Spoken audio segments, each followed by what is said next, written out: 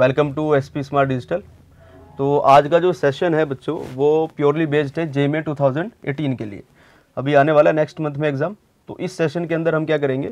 Chapter wise थोड़ा सा discussion करेंगे टॉपिक के ऊपर। तो पहला जो चैप्टर हम उठा रहे हैं, वो है सीक्वेंस एंड सीरीज़ इसके अंदर जे मेन में जितने भी क्वेश्चन पूछे गए हैं सीक्वेंस और सीरीज़ के ऊपर, उनका टॉपिक वाइज डिस्कशन हम करेंगे। क्वेश्चंस जो प्रॉब्लम्स या जो भी है, वो हम उठाएँगे जे मेन से ही। तो एक रिवीजन है जे मेन का, जो प्रीवियस ईयर है, उसका chapter wise with concise theory तो जो भी थ्योरी थ्योरेटिकल पार्ट जो यूज़ हो सकता है चैप्टर के अंदर या जिसकी ज़रूरत पड़ती है हमें जे को मद्देनज़र रखते हुए, केवल जे तो हम यहाँ पे जे एडवांस की बात नहीं कर रहे हैं, केवल जे के लिए. तो फ़र्स्ट है A P A P means arithmetic progression तो होता क्या है ये? तो कोई ऐसा सीक्वेंस है जिसकी अगर हम कोई भी दो कॉन्जिक्यूटिव टर्म का डिफरेंस फाइंड आउट करें तो वो कांस्टेंट आएगा। ठीक है? कोई भी दो कॉन्जिक्यूटिव टर्म्स का डिफरेंस इज़ कांस्टेंट उस डिफरेंस को हम बोलते हैं कॉमन डिफरेंस तो इसकी जो स्टैंडर्ड अपियरेंस है एपी की, वो होती है फ़र्स्ट टर्म सपोज़ ए है कॉमन डिफरेंस इज़ लेट कर रहे हैं डी है। तो first is A next is A plus D now A plus two D and so on up to A plus N minus one into D तो कुछ ऐसी दिखाई देती है। हमें इसके बारे में अब जो भी चीज़ें हो सकती हैं वो जाननी है। तो फ़र्स्ट जो टॉपिक है इसके अंदर वो है एनएथ टर्म जिसको हम डिनोट करते हैं टी एन से, है ना? इसको हम एनएथ टर्म बोलते हैं और जनरल टर्म भी बोलते हैं कई बार, और यही हो जाती है हमारी। तो ये सारी चीज़ें एक ही जैसी दिखती है है ना? तो इनको हम एक ही तरह से डील कर लेते हैं। तो फॉर्मूला क्या है टी एन का? T N is nth term तो A plus N minus one into D तो ये है एनथ टर्म ठीक है? इसमें हम एन की वैल्यूज़ पुट करेंगे तो हमें रेस्पेक्टिव टर्म मिल जाएँगे. जैसे अगर हमें चाहिए फ़र्स्ट टर्म तो एन को वन पुट करेंगे तो ए मिल जाएगा. सेकेंड टर्म चाहिए तो ए प्लस डी हो जाएगा. एंड थर्ड टर्म चाहिए तो ए प्लस टू डी हो जाएगा. तो ये है एनएथ टर्म का फॉर्मूला इसको याद रखेंगे, है ना? अब इस एनएथ टर्म की कुछ प्रॉपर्टीज़ हैं तो उनको देख लेते हैं। जैसे T one T two T three और टी एन ये सपोज़ एक ए पी है है ना? कुछ टर्म्स है। तो ए पी में जो कंडीशन है ए पी की, वो होती है कि कॉन्जिक्यूटिव टर्म्स का जो डिफरेंस है वो कांस्टेंट है। मतलब क्या है इसका? तो T two minus T one is equal to T three minus T two is equal to T four minus T three and so और यही हो जाएगा हमारा कॉमन डिफरेंस डी ठीक है तो ये चेक करने का तरीका है, कोई सीक्वेंस है तो हम उसकी कॉन्जिक्यूटिव टर्म्स को, है ना, उसका डिफरेंस निकालेंगे, अगर वो कांस्टेंट आता है तो दैट इज़ ए पी है ना। इसी को हम यूज़ कर लेते हैं, अगर हमारे पास में तीन नंबर हैं A B C A P में तो क्या हो जाएगा? तो यहाँ से हमें मिलेगा B minus A is equal to C minus B solve करेंगे तो twice B is equal to A plus C तो ये कंडीशन है तीन नंबर के ए पी में होने की। ठीक है? आगे बढ़ते हैं। Suppose T one T two T three और टी एन अगर ये एपी में है। ठीक है? तो एक और प्रॉपर्टी है इसकी। कि जो फ़र्स्ट और लास्ट टर्म का सम है, वो इक्वल टू होता है सेकंड और second last term is equal to third और एंड सो ऑन तो first plus last second plus second last third plus third last is equal तो ये अच्छी प्रॉपर्टी है, कहीं पे काम आएगी ज़रूर। Next is selection of terms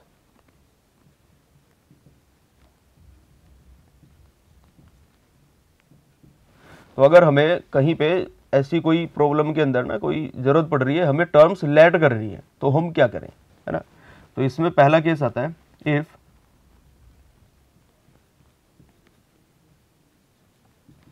sum of terms is given terms का सम हमें दिया हुआ है तो हम क्या कर सकते हैं?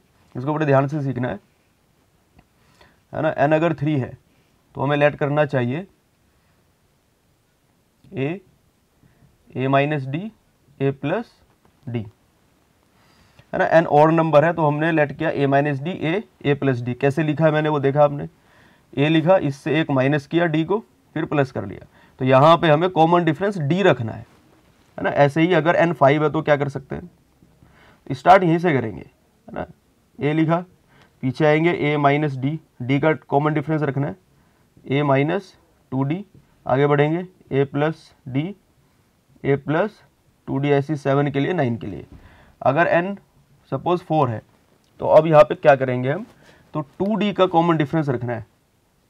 A minus D A plus D ये दो टर्म सबसे पहले लिखेंगे, फिर लेफ़्ट में तो राइट में।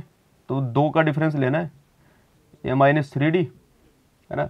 ए प्लस थ्री डी ऐसी अगर ये सिक्स है तो फिर ऐसे ही करेंगे। तो A minus D A plus D रखना है। इधर ए माइनस थ्री डी हो जाएगा। फिर और पीछे आ जाएँगे तो ए माइनस फाइव डी हो जाएगा। आगे बढ़ेंगे ए प्लस थ्री डी हो जाएगा और ए प्लस फाइव डी हो जाएगा। ठीक है तो इस तरीके से हम टर्म्स को सेलेक्ट कर सकते हैं, अगर सम गिवन है तो। सेकंड है, अगर सम नहीं दिया होगा तो क्या करेंगे? तो if sum is not given तो फिर स्टैंडर्ड लेट करो जो हमने लिखी है यहाँ पे, है ना?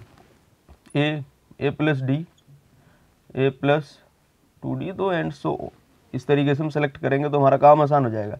इससे फ़ायदा क्या हो रहा है? अगर हमें सम दिया हुआ है तो इनको ऐड करके देखो किसी भी एक को, है ना? A minus D plus A plus A plus D तो ए बचेगा डी कैंसिल आउट हो जाएगा। ऐसे यहाँ पे तो सब जगह ऐसे ही हो रहा है। तो अगर हमें सम दिया हुआ है, हम आसानी से ए कैलकुलेट कर सकते हैं, फिर अदर कंडीशन से डी आ जाएगा। तो हमारा क्वेश्चन आसान होगा थोड़ा ओके ना तो नेक्स्ट प्रॉपर्टी है तो जो हमने डी यूज़ किया ना कॉमन डिफरेंस वो क्या क्या हो सकता है? तो D can be greater than zero less than zero और D equal to zero greater than zero मतलब इंक्रीजिंग एपी है लेस देन ज़ीरो मतलब डिक्रीजिंग एपी है, और अगर इक्वल टू ज़ीरो तो कांस्टेंट है। कांस्टेंट मतलब हर एक टर्म जो है एपी की वो इक्वल हो जाएगी। नेक्स्ट जो टॉपिक आता है इसमें, कुछ टर्म्स है हमारे पास। तो A one A two A three and so on up to A N ये कुछ नंबर्स हैं ए पी में है। तो प्रॉपर्टी क्या कहती है? अगर हम कुछ ऐड कर दें सारे नंबर्स में, हमने कोई कांस्टेंट वैल्यू को सब जगह ऐड कर दिया तो अभी भी जो सीक्वेंस बनेगा वो एपी में ही रहेगा। है ना? अगर हम हर एक टर्म को किसी कांस्टेंट के से मल्टीप्लाई कर लेते हैं तो जो सीक्वेंस मिलेगा वो अभी भी एपी में रहेगा। अगर हम डिवाइड कर लेते हैं तो भी ये एपी में ही रहेगा।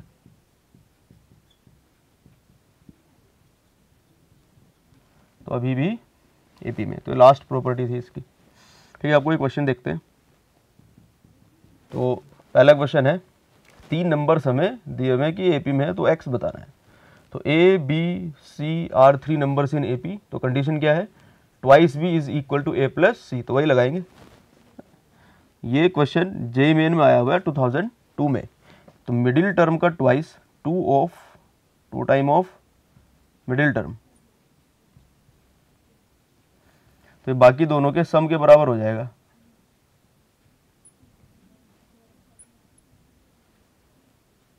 ठीक अब लॉग यूज़ हो रहा है, यहाँ पे भी, इधर भी। है ना लॉग का जो बेस है, इधर नाइन है, इधर थ्री है। हमें बेस को सेम करना पड़ेगा अगर लॉग सॉल्व करना है तो।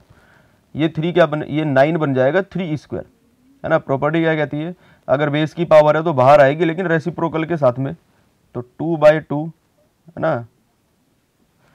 अपन इसको क्या लिखेंगे? तो ये थ्री हो जाएगा। है ना, इसकी पावर टू रही होगी, ये इधर रेसिप्रोकल में आ गई। Three raise to power one minus X plus two, और इस वन का क्या करें? तो इस वन को भी हम लिख सकते हैं। Log three with base three plus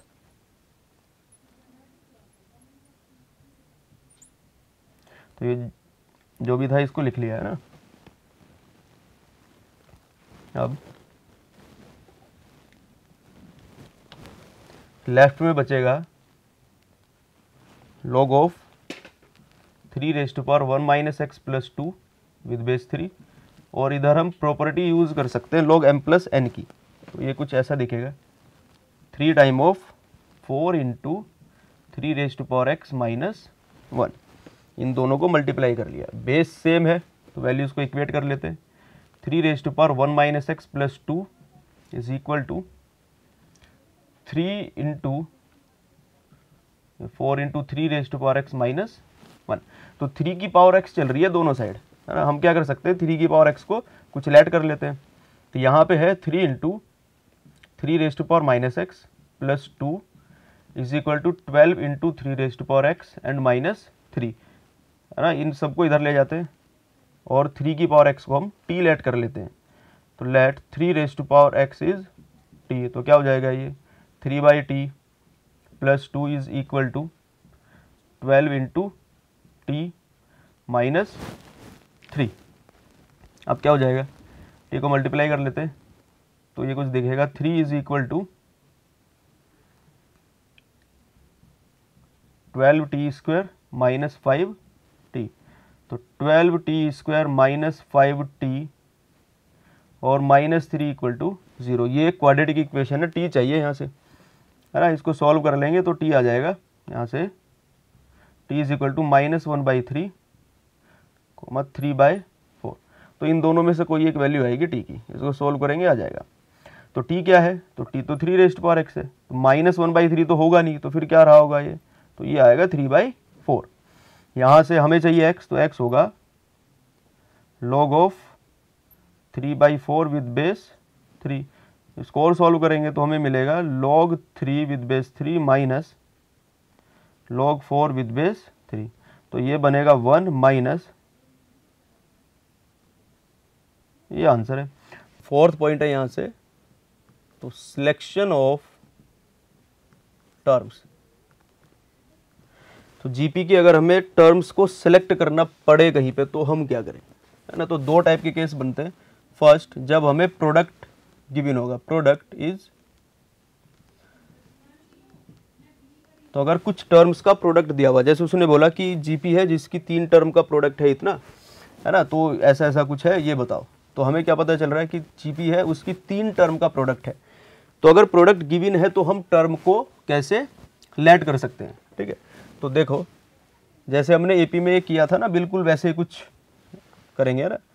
तो थ्री है तो हम क्या करेंगे? ए तो इससे पहले ए बाई आर इसके बाद ए आर तो अगर ऑड नंबर ऑफ़ टर्म्स है तो कॉमन रेशियो को आर रखेंगे। है ना? ए लिखा, इससे पहले ए बाई आर इसके बाद ए ए इंटू आर अगर एन फाइव है तो ए से ही शुरू करेंगे। पीछे बढ़ेंगे।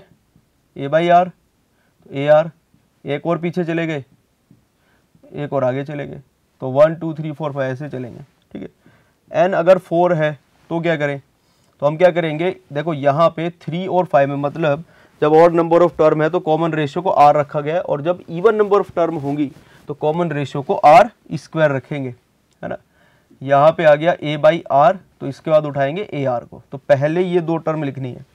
A by r a r इसके बाद हम क्या करेंगे? एक पीछे जाना है ना, एक स्टेप पीछे। चार बनाने के लिए। तो a by r cube r square common ratio है। इधर क्या हो जाएगा? ए आर क्यूब तो चार बन गई। ऐसे ही सिक्स अगर अपने को चाहिए तो a by r a r ये तो लिखना ही है।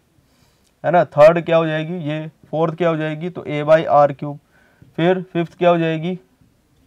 तो एक स्टेप पीछे भी हटो भाई।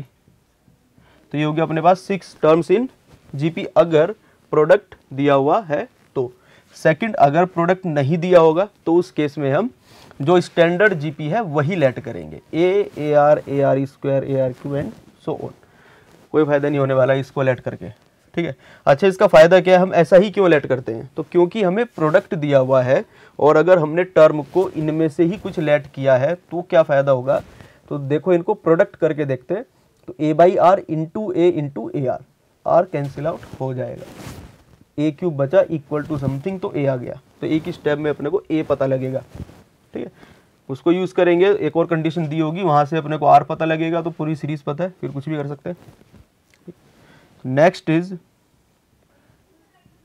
sum to n terms of GP तो इसका फॉर्मूला होता है s n is equal to a into one minus r raise to power n upon one minus r और आर जो है वो कभी भी वन नहीं होना चाहिए। कॉमन रेशियो वन नहीं हो सकता क्योंकि डिनोमिनेटर ज़ीरो हो जाएगा। ठीक है भाई? इसके बाद अगर ये जो नंबर ऑफ़ टर्म है, ये इनफाइनाइट हो जाए तो हम क्या करेंगे? तो इनफाइनाइट टर्म के लिए, है ना? तो सबसे जो इंपॉर्टेंट कंडीशन है वो क्या होनी चाहिए?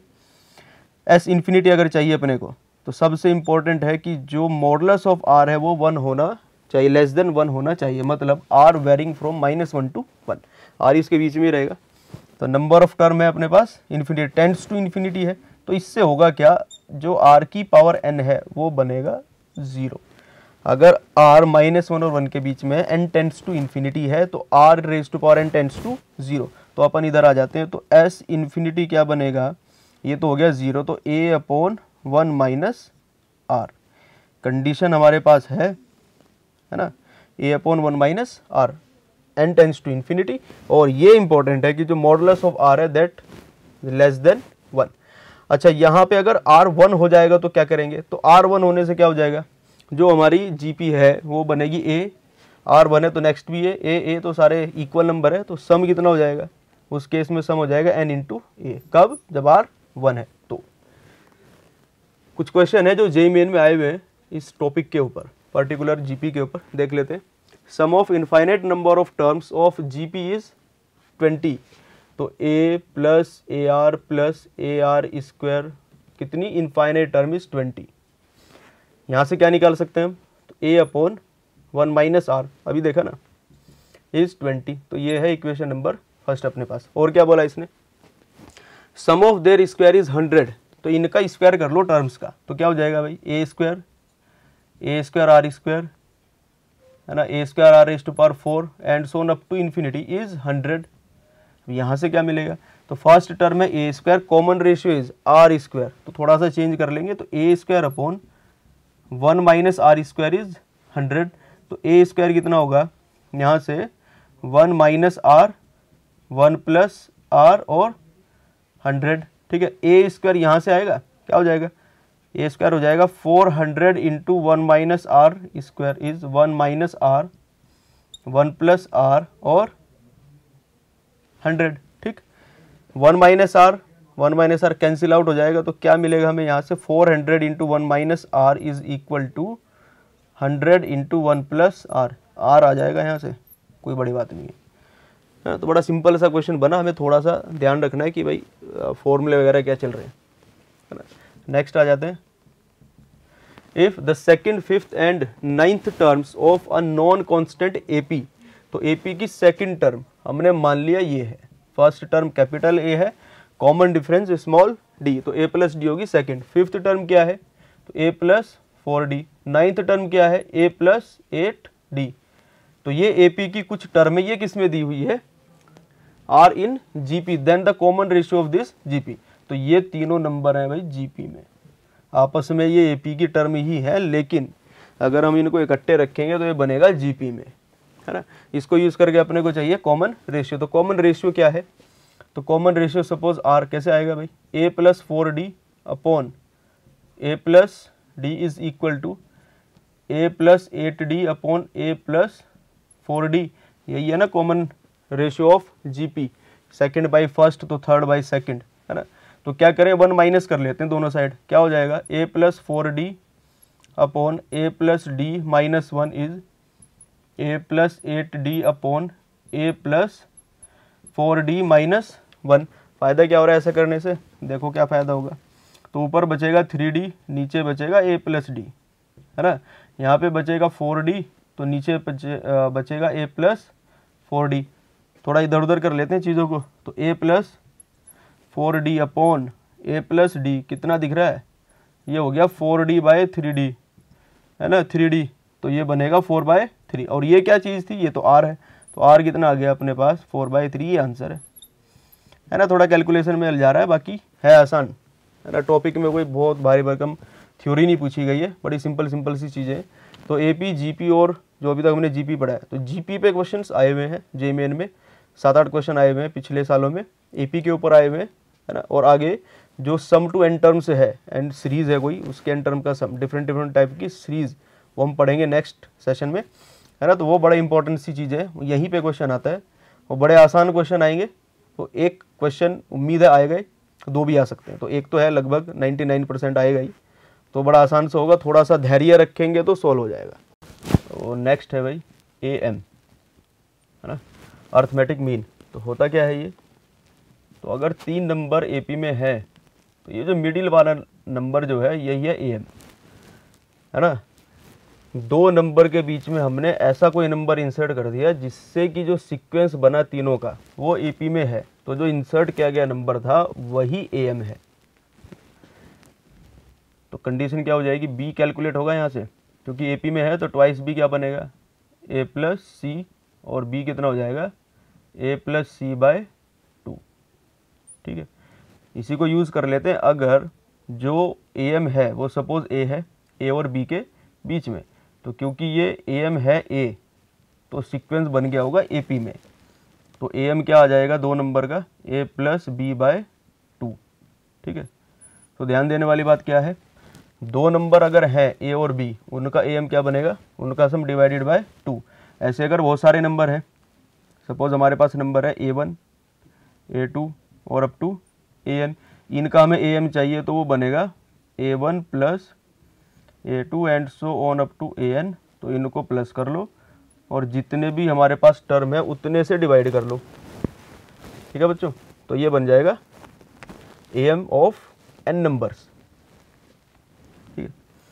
अब हमें इंसर्ट करने हैं n A M between a and b तो ए लिया हमने, इसके अंदर हमने इंसर्ट कर लिए a one a two up to a n और बी तो एन ए एम है ये a one a two a three up to a n a और बी के बीच में इंसर्ट किया। तो क्योंकि ए एम है मतलब सीक्वेंस हमारा ए पी रहा होगा। ठीक है? बी लास्ट टर्म है। तो बी क्या बनेगा?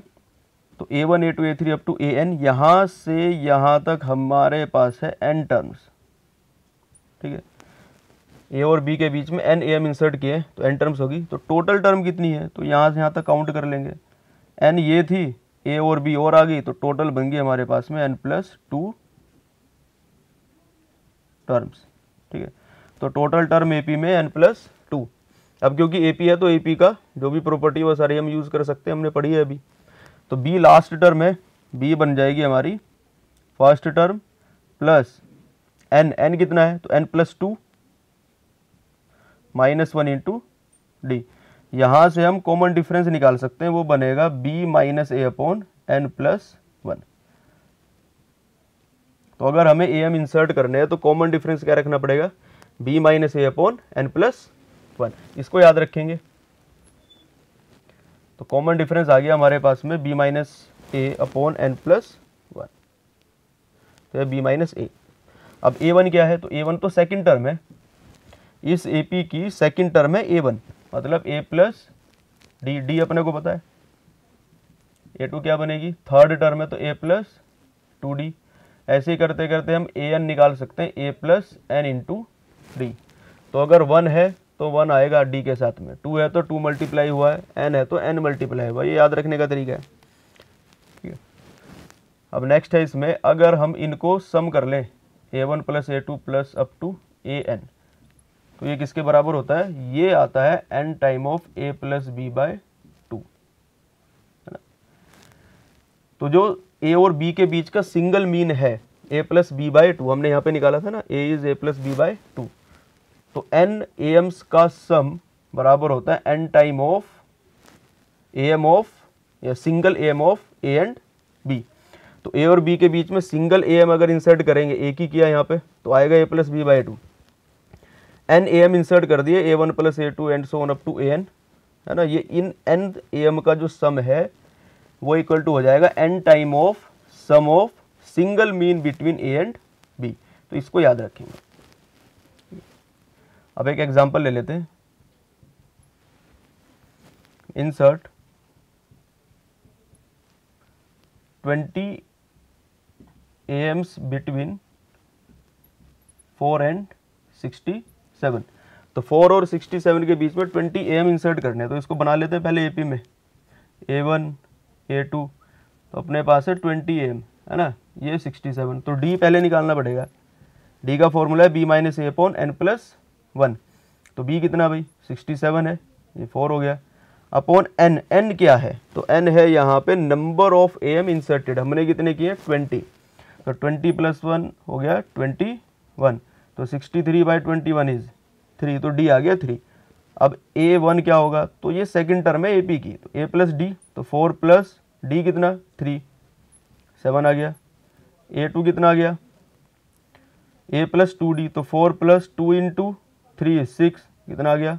टेन ऐसे करते करते अपन पहुँच सकते हैं ए ट्वेंटी पे. तो ये बनेगा ए प्लस ट्वेंटी डी है ना? ए कितना है?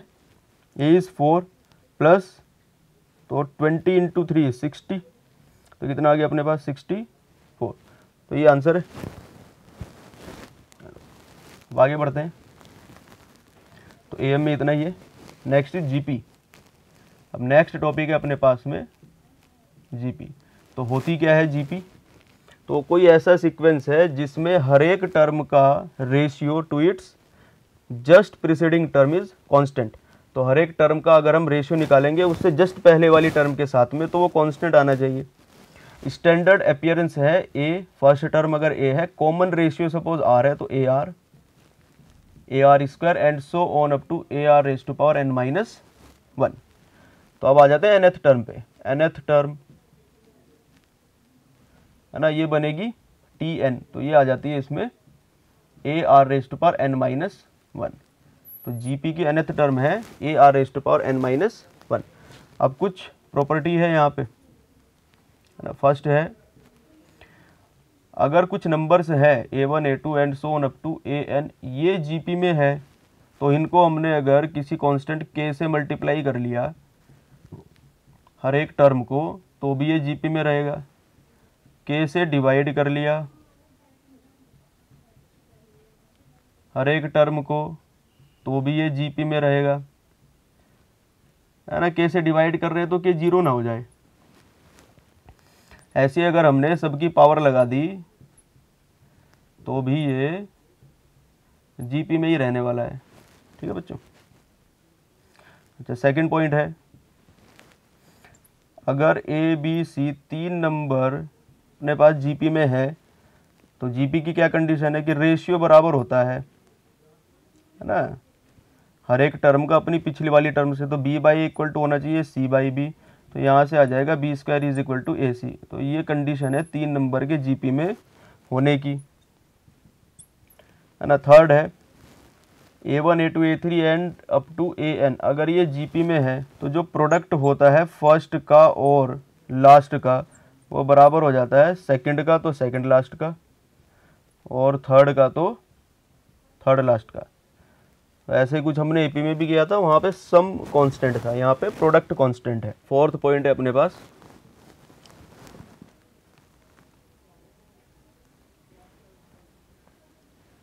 सिलेक्शन ऑफ़ टर्म्स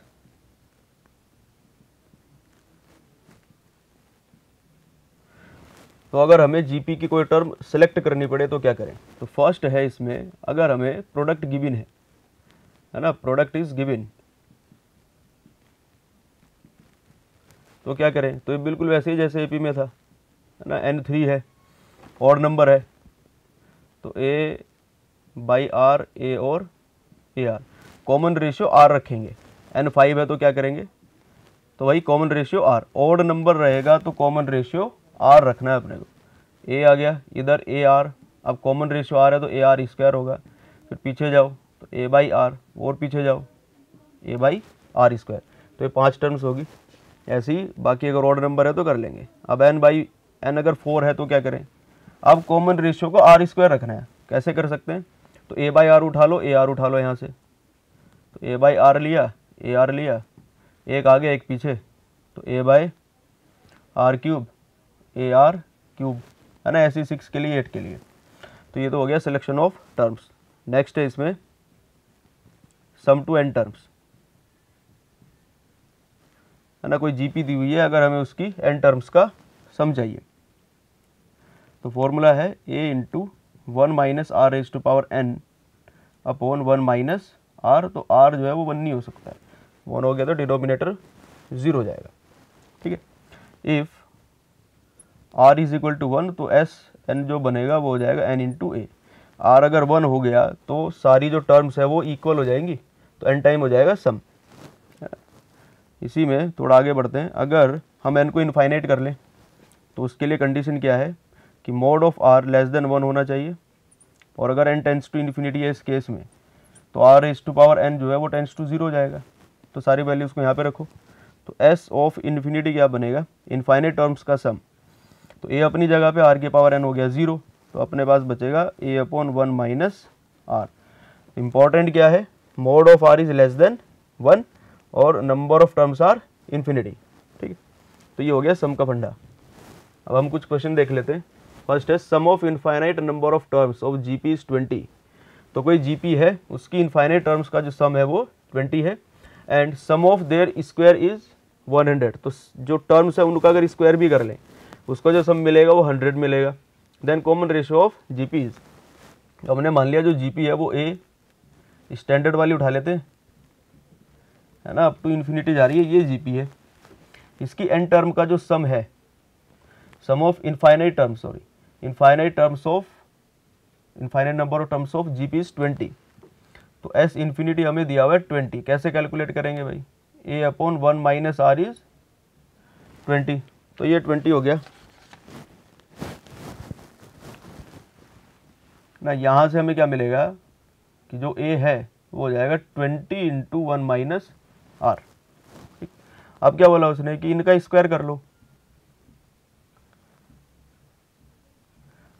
और ये जा रही है अप टू इन्फिनिटी ये भी इन्फिनिटी तक जा रही थी।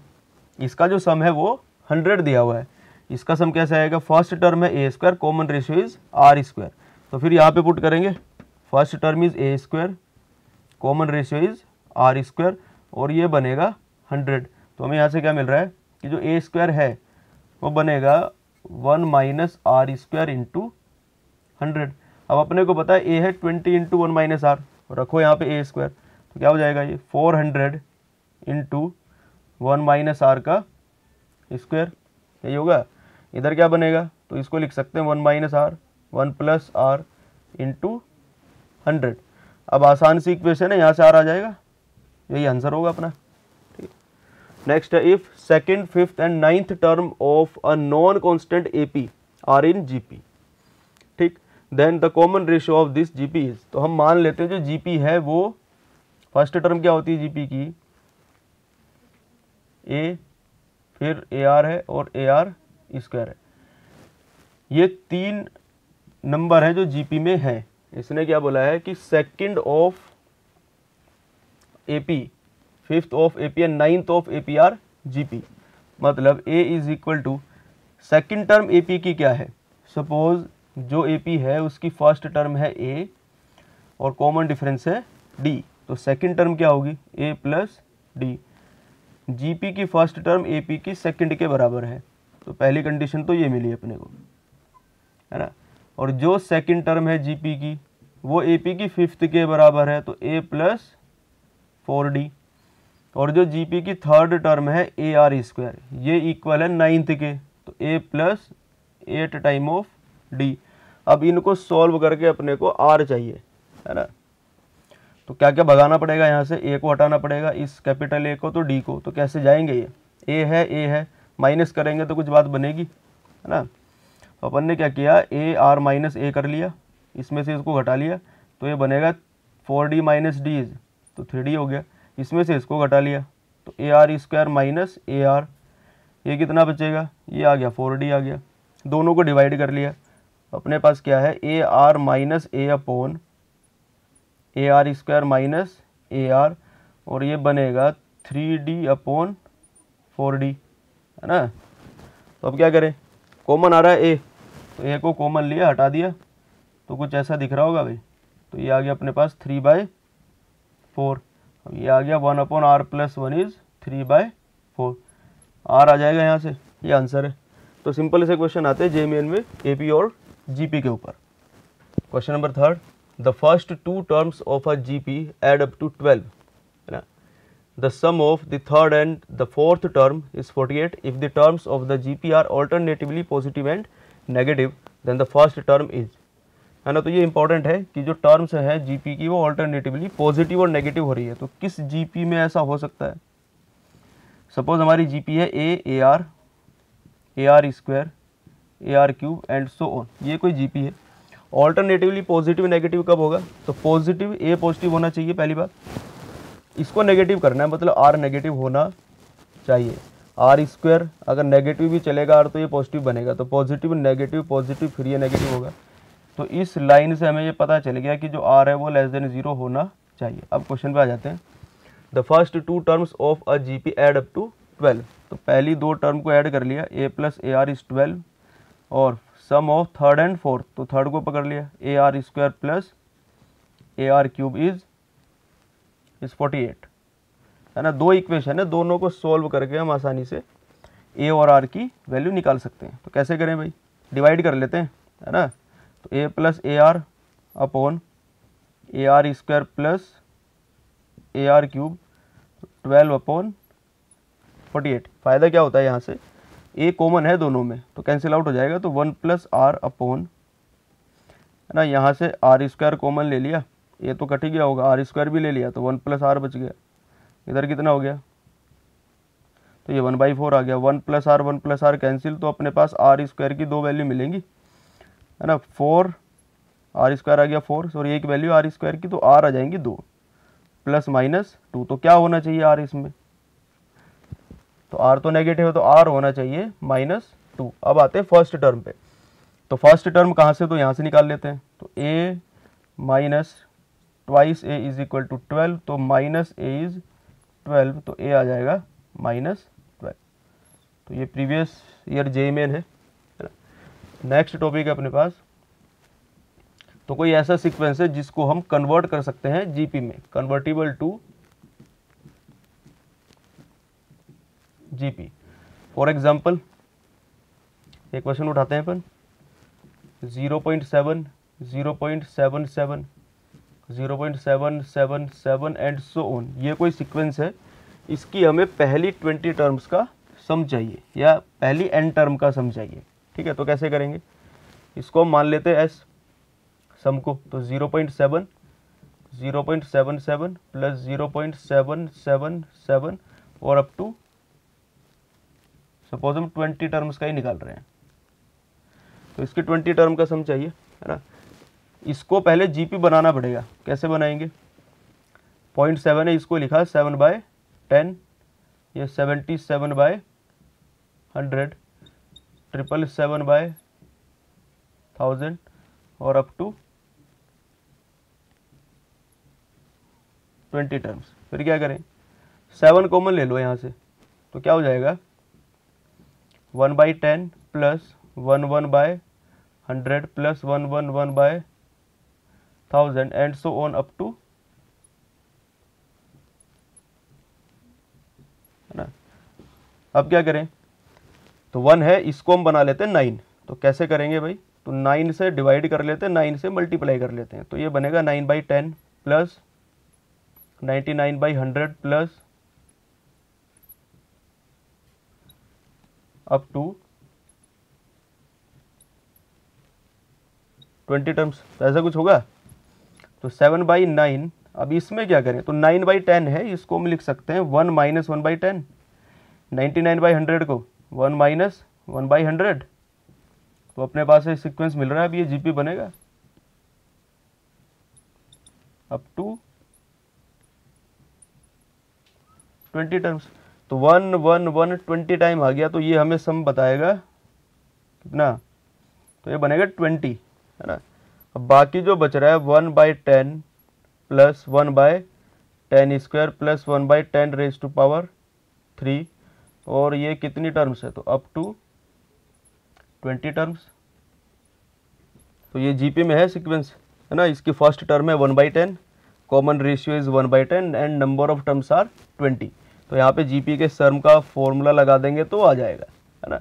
इसी तरीके से और भी कुछ सीक्वेंस हो सकते हैं जिनको हम आसानी से कन्वर्ट कर सकते हैं जीपी में, है ना? तो वो भी एक इम्पोर्टेंट टाइप का दो तीन बार ऐसे क्वेश्चन जो है वो आए हुए हैं जे मेन में। तो हो सकता है आ जाए, ये ऐसे एन का है क्वेश्चन है ना, उसमें पॉइंट नहीं है, उसमें सेवन सेवन सेवन ऐसे चल रहा है। तो पॉइंट वाला सिस्टम हटा दिया। तो जे मेन ने उसी को पकड़ा, लेकिन पॉइंट लगा दिया। तो थोड़ा सा चेंज किया है। है ना तो सीक्वेंस और सीरीज़ में मेरे हिसाब से जो क्वेश्चन जो पूछता है जे मेन में, वो एन e का ही कोई कॉन्सेप्ट उठाता है। कोई ऐसी चीज़ जो एन e में है। तो लेवल वही रखता है, लेकिन थोड़ा सा ट्रिकी करता है क्वेश्चन को। है ना तो थ्योरी बहुत ज़्यादा वास्ट पढ़ने की ज़रूरत नहीं है बट जो कंसेप्ट है वो हमारे स्ट्रॉन्ग होने चाहिए। Next is G M geometric mean तो इसका मतलब क्या है? पहले वो समझते हैं। तो सपोज़ तीन नंबर है हमारे पास में ए बी एंड सी और अगर ये जीपी में है तो ये जो मिडिल नंबर है बी यही कहलाता है इनका G M of A and C तो मतलब क्या है इस बात का? कोई दो नंबर थे हमारे पास में ए एंड सी है ना? हमने उनके बीच में कोई एक तीसरा नंबर इंसर्ट किया B such that these three numbers A B and C are in GP तो जो इंसर्ट किया गया नंबर है, वही कहलाता है G M of other two numbers इसी तरीके से हम एक से ज़्यादा नंबर्स भी इंसर्ट कर सकते हैं। तो सपोज़ हमने कुछ और नंबर्स इंसर्ट कर दिया, उनको बोल दिया G one G two and so on up to G N B तो अब ये जो है, ये these are N G Ms between A and B अब हमने क्या किया? दो नंबर लिए ए और बी और इनके बीच में एन नंबर्स को इंसर्ट कर दिया। Such that these sequence this sequence is in GP तो ये जो इंसर्ट किए गए नंबर थे, यही कहलाते हैं जी एम ऑफ़ या G M G M between A and B N G Ms between A and B अब अगर जी एम है तो कंडीशन क्या लगानी पड़ेगी? सपोज़ दो नंबर थे ए और बी और इनके बीच में हमने एक नंबर इंसर्ट किया G which is G M of A and B क्योंकि ये जो सीक्वेंस है वो जीपी में है। तो जो मिडिल टर्म है, उसका स्क्वायर किसके बराबर हो जाएगा? ए बी के। और G is equal to under root of A B तो अगर नंबर दो हैं ए और बी और उनके बीच में हमने सिंगल जी एम इंसर्ट किया है तो उसकी वैल्यू आएगी under root of A B और A B raise to power one by two ठीक है? तो अगर ए की जी एम है तो वन बाय टू है ना? ऐसी अगर हमने और बहुत सारे जीएम को इंसर्ट किया है तो क्या हो जाएगा?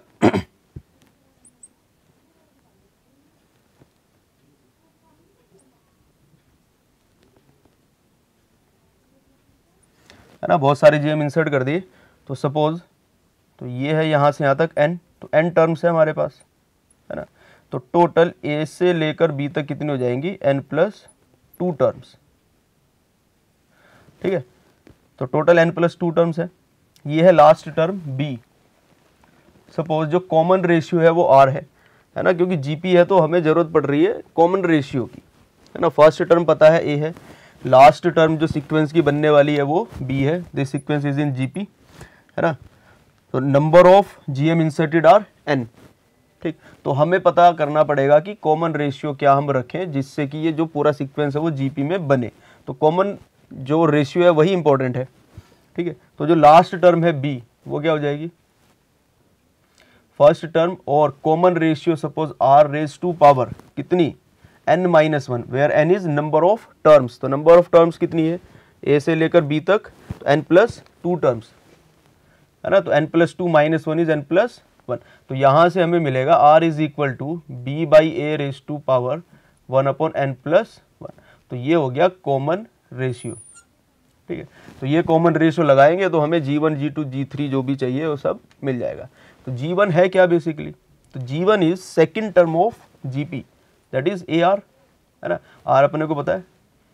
G two is third term तो ए आर स्क्वायर तो and so on up to G N क्या हो जाएगा? A R raise to power N तो ये nth G M find out करने का फॉर्मूला भी है हमारे पास A R raise to power N ठीक है? वन था तो आर की पावर वन है टू है तो टू पावर है एन है तो एन पावर हो जाएगी। तो इस तरीके से हम जी एम फाइंड आउट कर सकते हैं कोई सा भी, है ना? थर्ड सेकंड फोर्थ जो भी अपने को चाहिए होगा, हम यहाँ से कैलकुलेट कर सकते हैं, ठीक है? तो तीन नंबर अगर सॉरी अब चाहिए अपने को G one G two G three and so on up to G N तो क्या किया यहाँ पे? एन जी एम थे, इनका प्रोडक्ट चाहिए अपने को। है ना? ये हो जाएगा। इसको ऐसे भी लिख सकते हैं आई वन टू एन और जी आई तो कैसे कैलकुलेट करेंगे? इसको जब अपन मल्टीप्लाई करके देखते हैं तो ये आता है सिंगल जो जी एम है, उसकी पावर एन ठीक है? तो G raise to power N भी इसको हम लिख सकते हैं। तो एन टर्म्स या जो एन जी एम्स है, उनका जो प्रोडक्ट है, वो आएगा सिंगल जो जी एम होता है। जैसे हमने यहाँ पे निकाला था ना under root of A B इसकी पावर एन एन क्या है? नंबर ऑफ़ जीएम जो हमने इंसर्ट किए होंगे और जिनका हम प्रोडक्ट फाइंड आउट कर रहे होंगे। ठीक है? तो नेक्स्ट इसमें क्या हो सकता है जीएम के अंदर?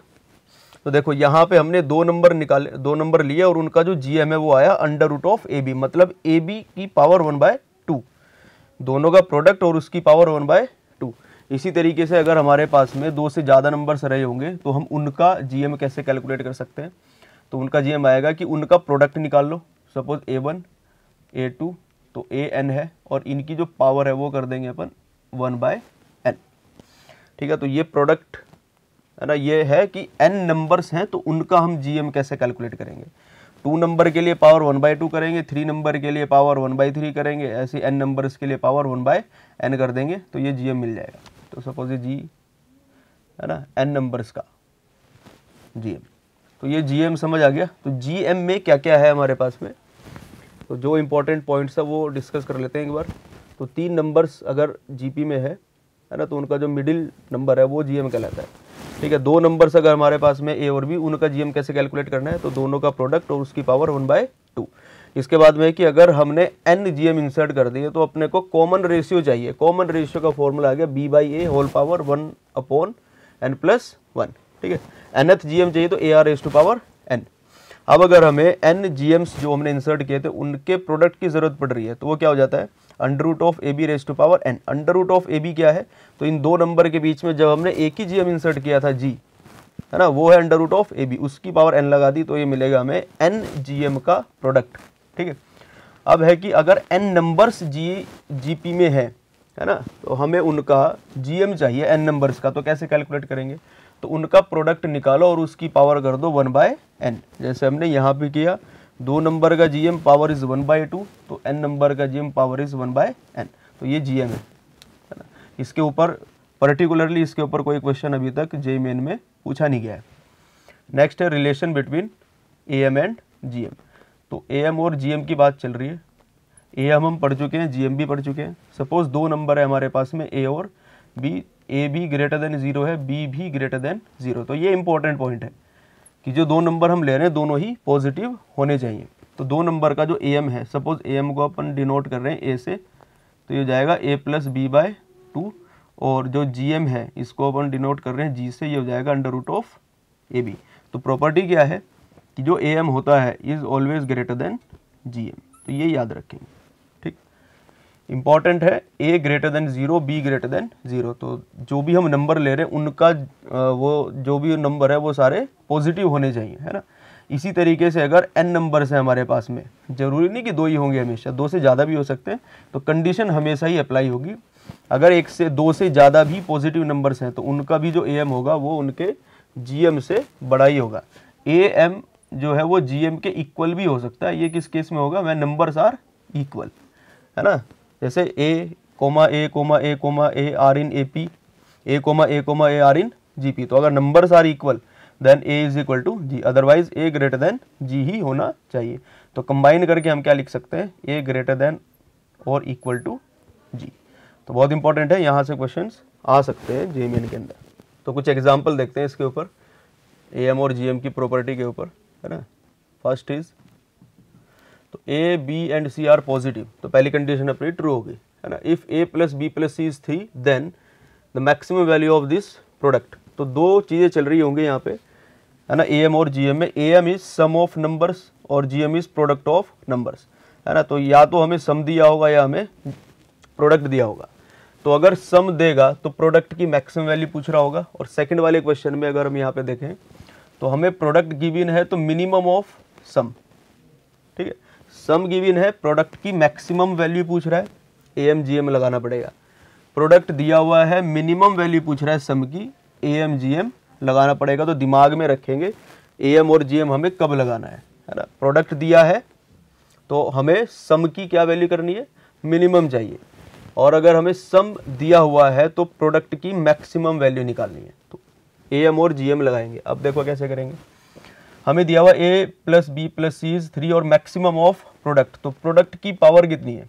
है ना? A raise to power two B raise to power three C raise to power two A को दो पार्ट में कन्वर्ट कर देंगे बी को तीन में और सी को दो पार्ट में, है ना? इसको ब्रेक कर देना है तो क्या हो जाएगा?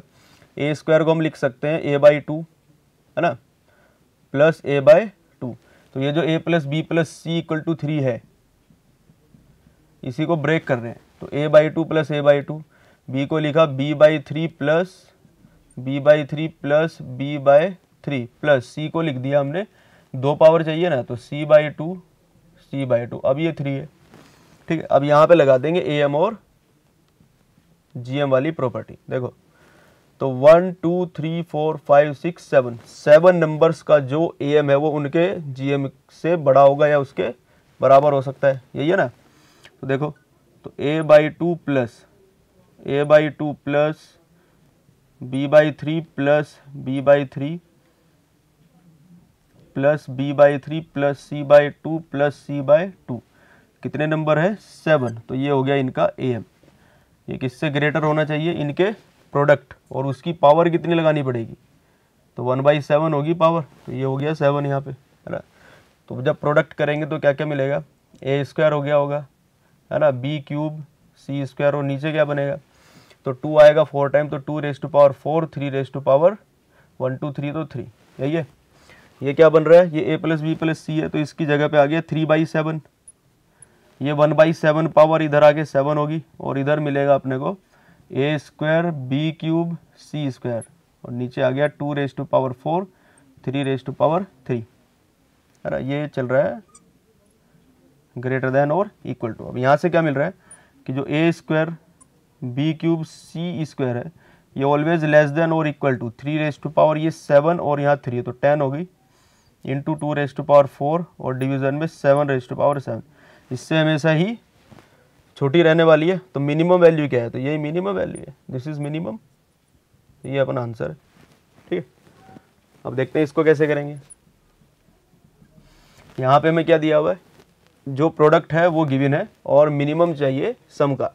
तो इस पर्टिकुलर केस में इसको तोड़ेंगे नहीं, है ना? जो हमें दिया ना ए बी सी इसको ब्रेक नहीं करना है, इसको भी कुछ नहीं करना है। एज इट इज़ उठाओ इसको। तो two A plus three B plus four C तीन नंबर है two A three B four C ये हो गया इनका A M is always greater than और इक्वल टू इनका प्रोडक्ट कितना हो जाएगा भाई? थ्री टू सिक्स तो twenty four A B C और पावर कितनी? तीन नंबर थे तो थ्री होगी पावर है ना वन बाई थ्री तो यहाँ से अपने को मिल रहा है twice A plus three B plus four C is greater than और इक्वल टू थ्री इंटू ये कितना है भाई? Twenty four into A B C कितना था? Sixty four raise to power one by three तो कुछ आ जाएगा यहाँ से, है ना थ्री और ये फोर तो बाहर आ गया यहाँ से सिक्सटी फोर की power one by three is four और इसको लिख लेते हैं ऐसे ट्वेंटी फोर की पावर वन बाय थ्री तो ये जो है twice A plus three B plus four C जो हमें दिया था इज़ ऑलवेज ग्रेटर देन और इक्वल टू दिस नंबर मतलब मिनिमम वैल्यू क्या होने वाली है? तो यही मिनिमम है। ढूंढ लेंगे ऑप्शन में कहीं पे, है ना? तो इस टाइप के जो क्वेश्चन है, वो बनते हैं एम और जीएम के ऊपर। तो ध्यान रखेंगे हमें कहाँ पे प्रॉपर्टी लगानी है।